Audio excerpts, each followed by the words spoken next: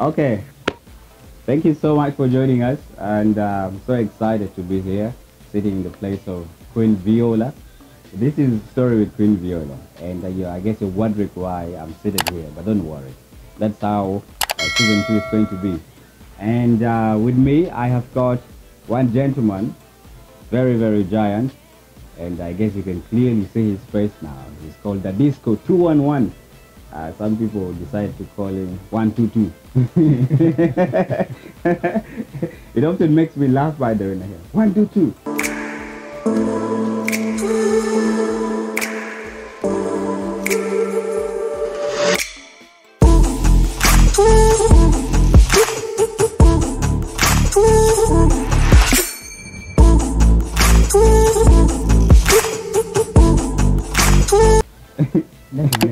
Make much of a difference. It- it- yeah, it kind of just plays around with the mind. Good to see you, man. It's a pleasure. How have you been? Um, 2022, and Yeah. on a high note, you know, a lot of expectations. Yeah. You know, you're trying to work around the clock to see if you can, you know, Mm. beat your deadline for, you know, the goals for this particular year. Yeah.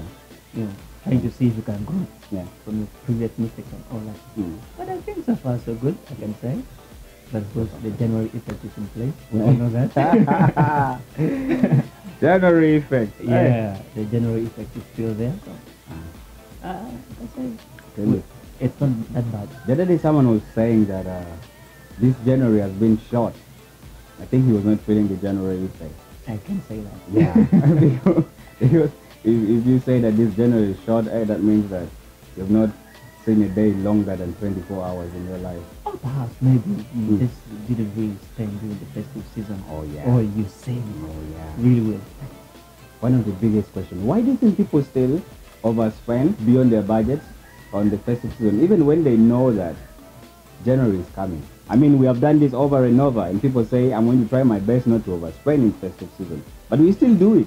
Well, I, I, think it's uh, it, has- it has become more of a culture. I can't say it's excitement because Yeah. you know you spend this year, Yeah. then you face January, Yeah. and then you know another festive season comes and you spend again. So I can't say it's, it's excitement. I would Yeah. rather say it's uh, it's culture. It's culture now. You know, when you're growing up, Yeah. you expect a lot from the parents, the Yeah. relatives, and so forth. Mm. You expect them to buy you shoes, clothes, Mhm. a nice meal at the end of the day. You know, Yeah. so you grow up expecting a lot. Yeah. So like when it's your turn to provide for the family, Yeah. you know, you feel the general effect. You know, Yeah. It's going to be a long month. Yeah. But of course, you know people are expecting. Yeah. So you really have to, you know, fulfill all the needs and all that.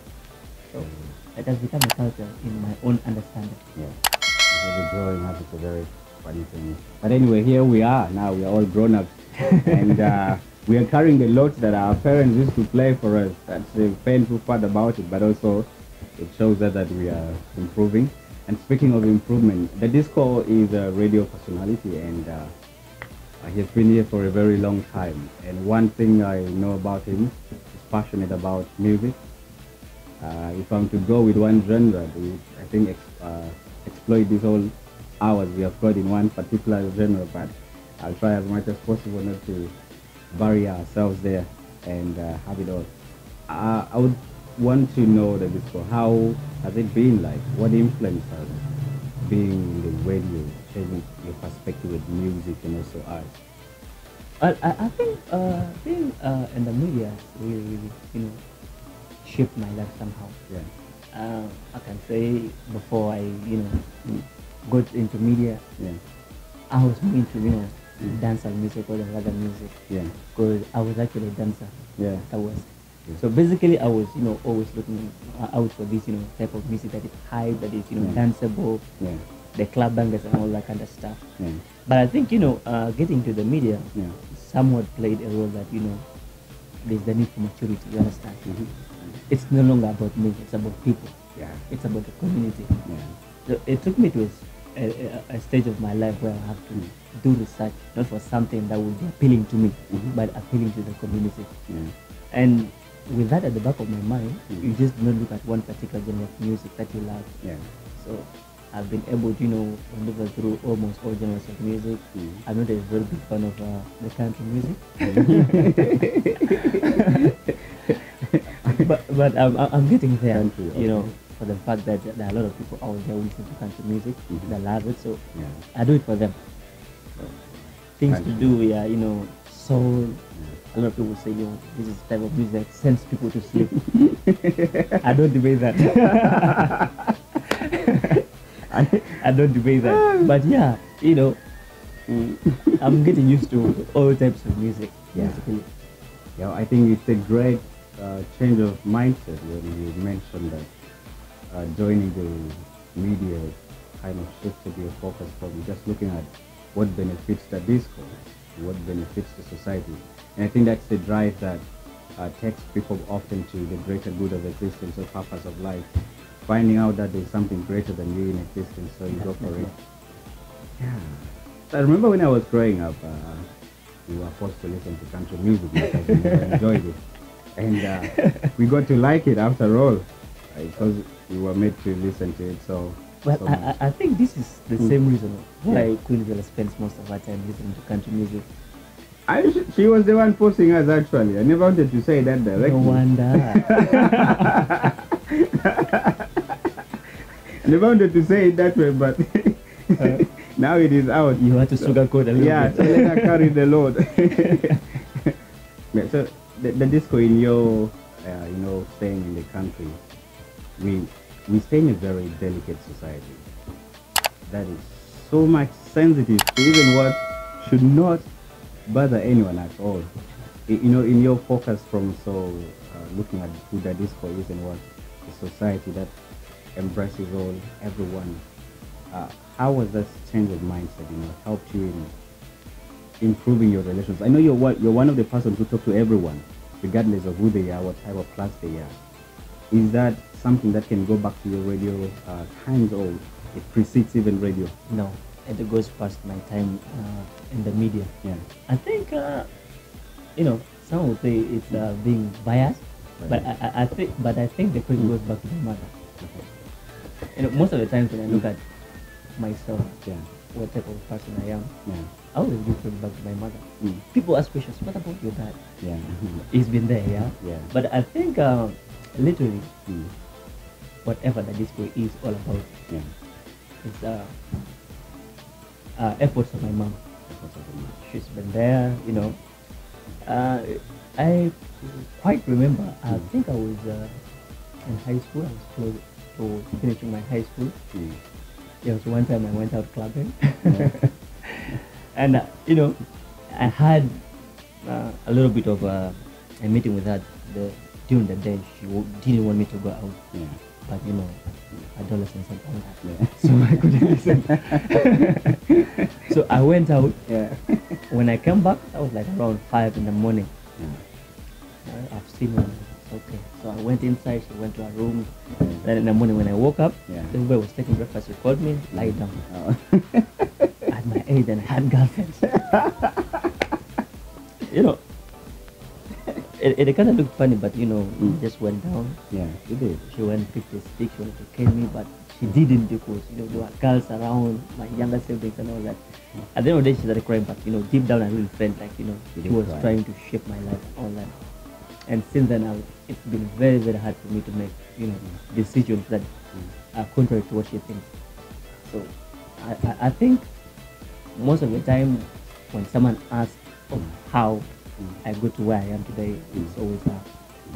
But then uh, the, the, the other people that have played a very important role in my life. Yeah. One of them is my late brother. Mm. Yeah, may his soul rest in peace. Um, he's one person that has really, really, really, you know, taught me a lot about life. Mm.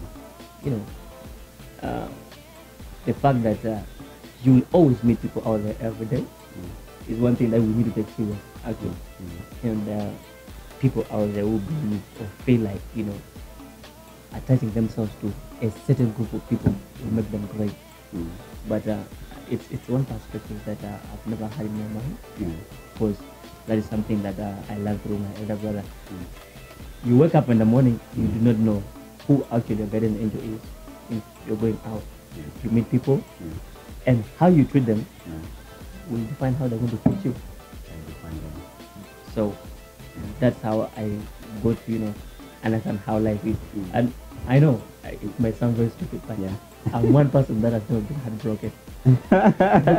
Honestly. like heartbroken relationship wise. Relationship wise, yeah. Because I know these things are meant to happen. But have you broken someone's heart before?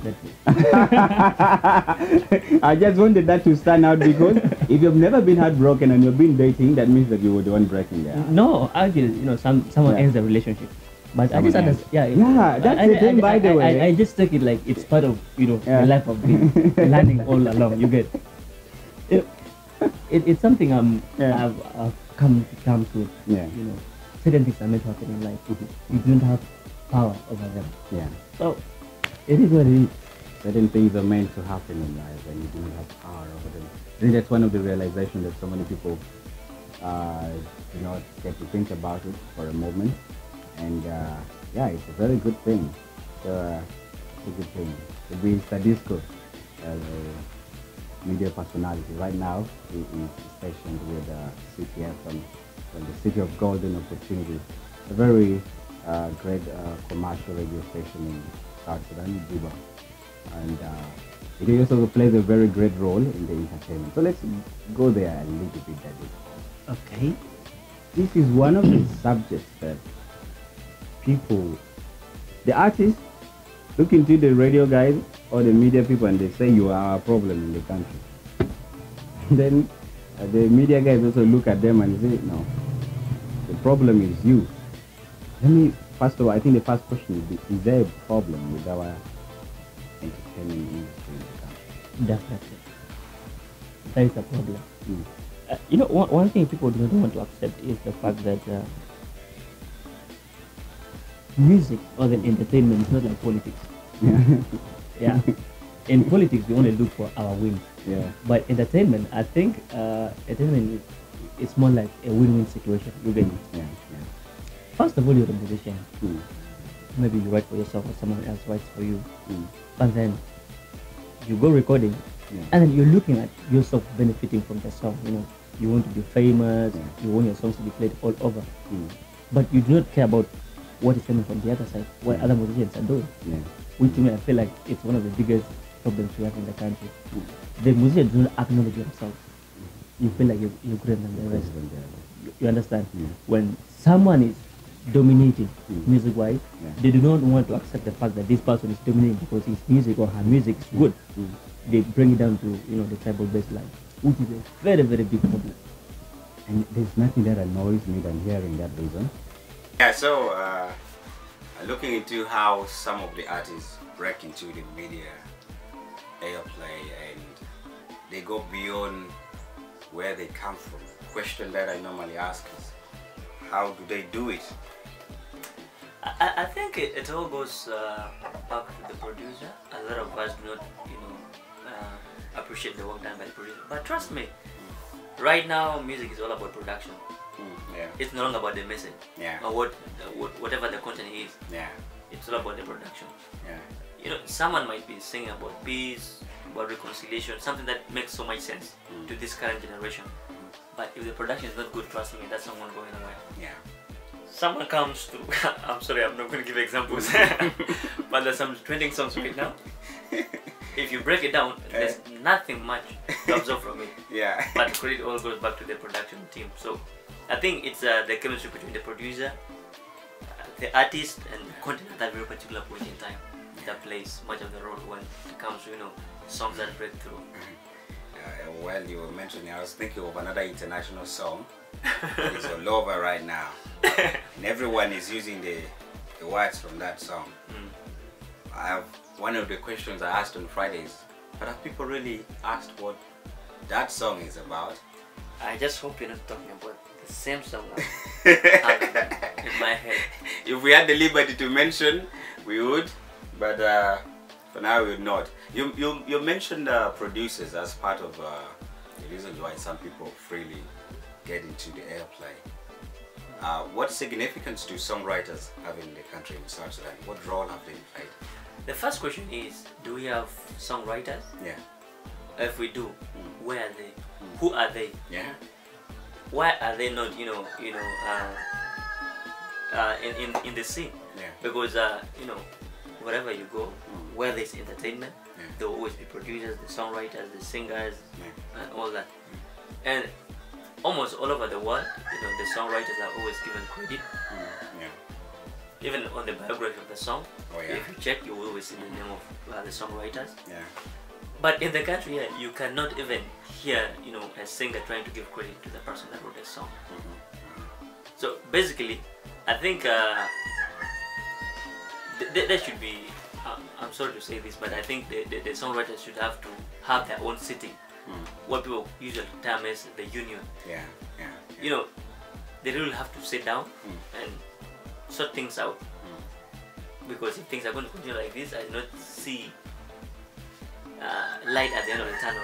yeah, and, and- I think that it also has a way of discouraging them because uh, we know of so many songs right now that are trending or that have trended and they were clearly written by someone else, not the artist.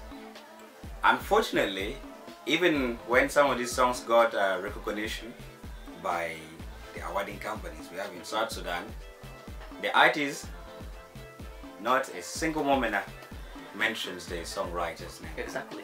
All they do is, you know, thanks to my fans. Who are your fans? Yeah. Start with the people that really play the role in making Yeah. that song a success. behind the scene people. Yes. Yeah. Thereafter, you can come to your family now, your spouses and your fans. All that will make sense. Mm. But you rush straight to your fans. It, it, it's, it's really a, a very, very bad mindset. I Mm. think we really need to change that. Yeah. First, if we recognize the songwriters, I think there will be, you know, some bit of competition in writing Yeah. because people know their work is not going unnoticed. Mm. You understand? Yeah. People will talk about your content. Yeah. If it is good, people will definitely appreciate you. If it is not good, people will criticize you. Yeah. That is assured. It will happen. Mm. So if that happens, there will always be, you know, uh, that you know self guilt. You don't want to rush things out. You want to write stuff. You go through it and all that before you give it out to someone that will, you know, go voice it and Mm. and all that. And I think if uh, that happens, there will be more people involved in writing, Yeah. which of course will create competition. And wherever there's competition, there's always quality. Oh yeah. Yeah. And, and that also, I think one of the reasons why they need to be recognized is, at the end of the day, they also need some money in their pockets. Definitely. The artists, even if they're not being paid by promoters for performing, they at least have a moment where fans will be giving them money while they're performing. Uh, one of uh, artists one time uh, sat down with him and he gave a story of how at one point he was making his money. He would perform at any Event. any event, regardless whether he's paid or not, because he knew that at the end of the day, Fans, fans are going to come out and give him money. And he needed that money at that time. So he did that strategy for some time. But uh, yeah, when we do uh, recognize the songwriters, I think we'll also be able to attract more people to buy their songs. I don't know, first of all, how much a song is, how much it cost in the country. I, I think I've interviewed one of the songwriters. Hmm. Apparently, he writes a song for hundred dollars. $100. Yeah, and I think he's written some songs that are right now trending All right. by right. some of these prominent female musicians. I don't know why. Oh, yes. Actually, female musicians. I know, I know plenty of the female who have been they wrote for them songs, Mm. And I, I haven't had them appreciating. So, or one time maybe when I get a chance to talk with them, I'll see why they don't do it. Or do they think that because they bought the song, if they did, uh, you're not supposed to mention the songwriter? That's one particular question I don't have an answer to. Yeah. But I think even if you pay a million dollars for it, Mm-hmm. you have to give credit. Yeah, you, you have to. In my own knowledge, I think they do that. Yeah, but uh, I know our entertainment industry has a lot of things that we still need to sort. If if you were asked what is that one thing that you think we should start with, what do you think is that thing that we can begin with and try to sort out this whole mess here and there? I think uh, I will give an advice based on uh, individuals. Yeah, Sort yourself before you sort the industry. sort yourself out. That is for, to the musicians. Yeah, If you think there's a problem facing the industry, first look at the problems facing you as an individual. Mm. Find out, you know, the possible solutions. Mm. Fix yourself. I think if we all can do that, I think we'll be at a better stage compared to where we are right now. Yeah. And that's a very sunny reason. One of the famous saying goes that if you want to be the change, you be the change. And those are words uh, that Dadisco has rephrased and uh, giving advice to the artist. If you think that uh, the media has a problem. Maybe you first ask yourself if you're the problem yourself. And then if you notice that you don't have any problem, then you can come and attack people like the disco. Definitely. it, it, it, there's one thing uh, that has been bothering me for quite a long time. Yeah. You know, whenever you host a musician, Hmm. there's one thing they will never walk out of the studio without saying, Junubin don't support. Oh yeah. The question is, who are the Junubin? Yeah. When you get, you know, some money, mm. the first thing you think of is running away from South Sudan. And these are the same Junubin you want to attack when you make a song. Yeah. You get? Sometimes we should be, you know, accountable to ourselves before we criticize people. yeah. Yeah. I do agree. you make money or you get the chance to go and record in Uganda or Kenya, you take that and you embrace it wholeheartedly. Like what you've been doing with the producers in the country has been nonsense. Yeah. What do you think they will feel about how you're acting? Like, We're recording with someone that is not in the country. there are some songs I know that were recorded from outside, and I was like, "But what is this? what did you really go to do outside there?" I mean, and then in my head, a producer's name would jump into my head. I'll be like, "Okay, now funny producers jump into my head." I'll be like, "But so and so would give you the same product." Exactly. If you never wanted uh, the best in the country, uh, those who are prominent to record for you, but it's it's a very sad thing. And often, I think some some of the artists think that uh, by virtue, if you record from outside, it is a treasure or it is gold. Exactly. well, A very ill mind. that's very unfortunate. yeah, but uh, Dadisco, thank you for coming. Before I let you go, though, Mhm. uh, I will have we'll have Dadisco back again for some other interaction on one particular genre sometime in the future, that is uh, uh, while we were offline, I mentioned that hip hop and it says old school hip hop. That one. So we will talk about old school hip hop in the next episode and also a few things. But now I want to ask him some questions coming in from the game. And never have I ever. So here are the questions, and I want you to listen to his answers. Never have I ever regifted a gift. Never have I ever. Regifted. Given A back gift. a gift, yeah. For example, I buy you a watch, Uh, then uh, you give it out. Ah, um, I'm sorry, I've never intended to give out a gift, Yeah. but has happened. you know, things move on unknowingly. I, I, I think one of those that really kept me, you know, bothered for some time was uh, was a watch. Hmm. It was given to me by someone I never liked. But then, yeah, I kept it. Not until Oh, a brother of mine took my knowledge. My Eh, knowledge. So eh. that's how it went. like you never liked the person to the extent that anything associated to them was never to be seen close to you. Well, that was an extra. anyway, next question. Uh, let's see. Uh, never have I ever been on a blind date. If there are many, let me hear one of them. Wild, but yeah. Yeah. Yes, Yeah. I did. Yeah. I've been on a blind date. yeah. Then how was the Story. experience? Yeah. I could say a very boring story. Very scary at the same time, you know. It's what people say walking through the valley. yeah. The the- shadow of death. That one. Yeah. I'm not a good Christian, so at least you remembered it. Yeah, at You- least- you- at least you know that there's something that was in that Aha. line. Yeah. That's a good beginning. So uh, it- it's like walking through what you just said. okay, You- you- you're can, not can sure. we learn it? Yeah, you're- Walking you're- through the valley of the shadow of the death. death. Oh, Yeah.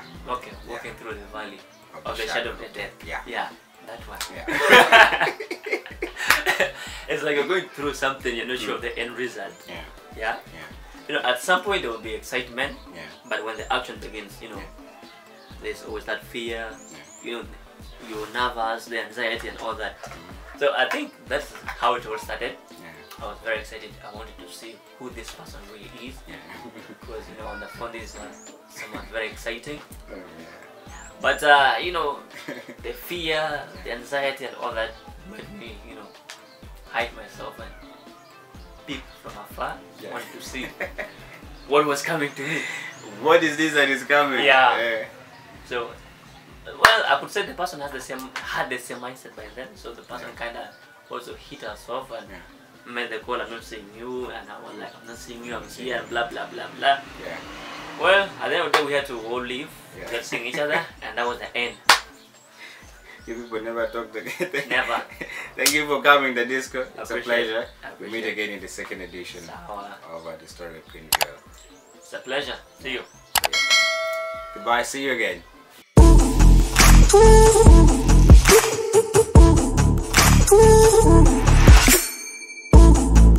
Ooh.